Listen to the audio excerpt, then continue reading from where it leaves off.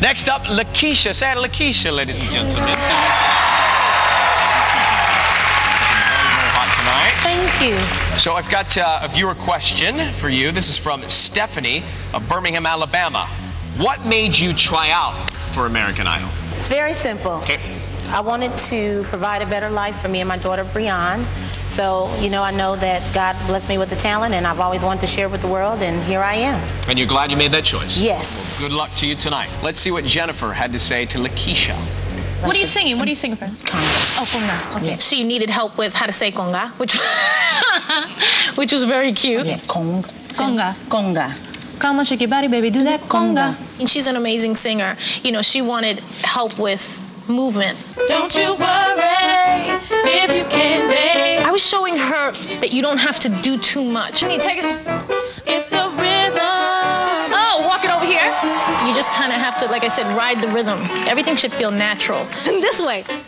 That's right. We have fun.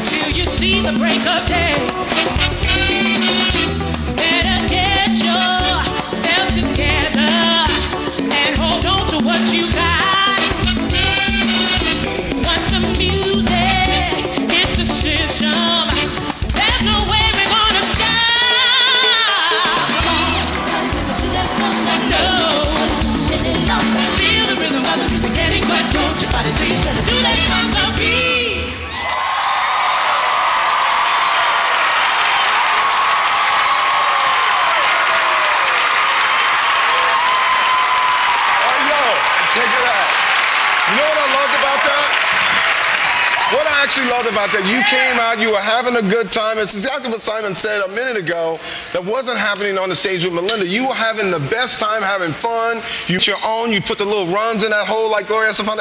That was hot, baby. That was hot right there. Welcome back. Um, first, you look lovely. Thank you.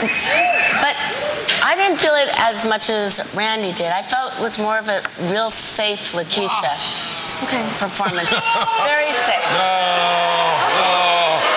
And, and I feel like it's now time to bring out the very best because it's, it's getting down to the wire there. And you're great. We all love you. Thank you. But we have to, I just want you to push for it more. Do you agree with her, Lakisha? I don't think I was being safe. I actually kind of went outside my comfort zone Exactly. to move a little bit because I'm always kind of here and kind of so. So, so the answer is so the answer is no. You don't agree with her. No. No, obviously not. I, you know, I, I have to say I actually do agree with Paula actually because it's one of those songs which which is not a singer's song. I mean, it's a it's a it's a fun performance song. You were having fun. I'm not sure how much fun everyone at home would be though. That's the problem. It's it's it's it's. Uh, it is actually quite a safe. No, it's quite a safe song to do because she was you- dancing and moving. Yeah, but the dancing wasn't very good. Thank you, Simon. It wasn't great. What I wouldn't pay to see you try and do that, though. I'm sure you'd oh, pay a lot. Exactly, Ryan, exactly.